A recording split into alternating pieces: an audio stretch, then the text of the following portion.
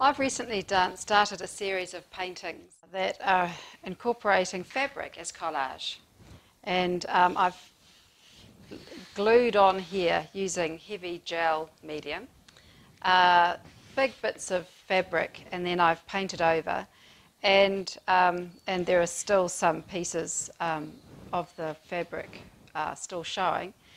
And now I'm going to start the second layer and really sort of bring this surface to life.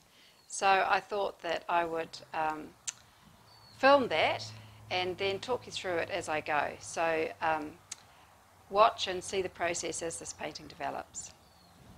The first thing I do is um, I have a whole bunch of these templates that um, are just shapes that I've made. And I've just laid these onto the painting here and I'm just going to draw around them and uh, then I'll paint them. So I just use, to draw around them, I'm just using a um, Lumocolor permanent pencil. This one's white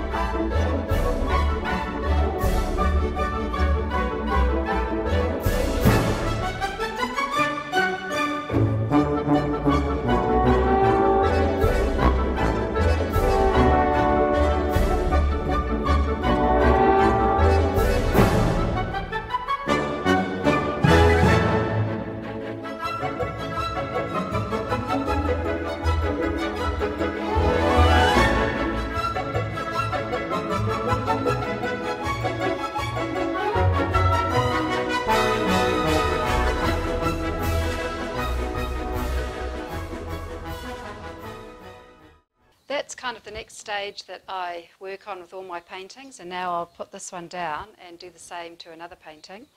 Um, basically, what I've done is I've just filled it with possibility. um, it's, you know, it's a bit crazy at the moment, and um, I will leave this to dry. I've used pastel and oil stick on the top of this, and the oil stick will dry in a couple of days, and the pastel won't. But when um, in a couple of days when I come back to it, I'll put a layer of gloss medium over the top, and that will just seal all the, um, the lumps and bumps onto the surface. And um, the pastel will make the, it'll put a protective coat over the top of the pastel so that it won't smudge. Um, and then I can continue to paint over, over the top of it. Um, yeah, so I'm happy with that. And um, at this stage of the painting, this is very much sort of the beginning stages where I'm just adding into the painting and I'm not analysing it at all. I'm excited by, um, you know, the variety that's in here. I've got shape and line and collage and pattern and all sorts of things going on. So um, it's giving me lots of possibilities to think of.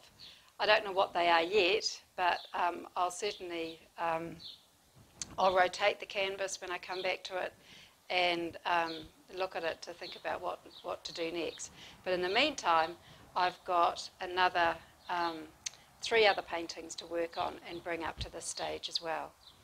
Okay, well I hope that's um, been enjoyable and um, stay tuned because I will continue to um, film these paintings and you'll be able to see how they progress.